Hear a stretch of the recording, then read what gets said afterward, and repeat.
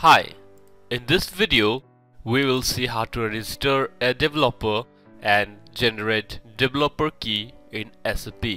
So for that you'll need a S user account from SAP and the system installation number in which system you want to use the developer key and of course the user ID of the developer.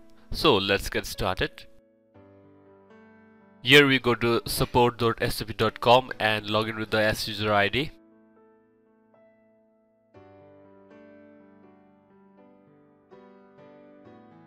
Enter the S user ID and the password here.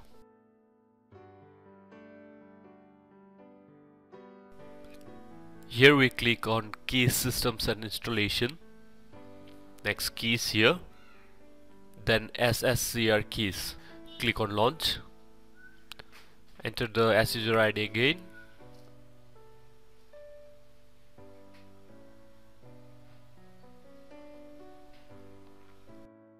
Next click on register developer. Here you need to choose the system. So to check the installation number we can go to the uh, GUI logon and run the T-code SLICENSE to see our installation number of the system. Here you go. I have entered SLICENSE here and write here you will get the installation number. You can cross check with this. Back here we select the installation number and enter the user ID of the developer. So enter the user ID and click on the register button. Next uh, a registration key will be generated.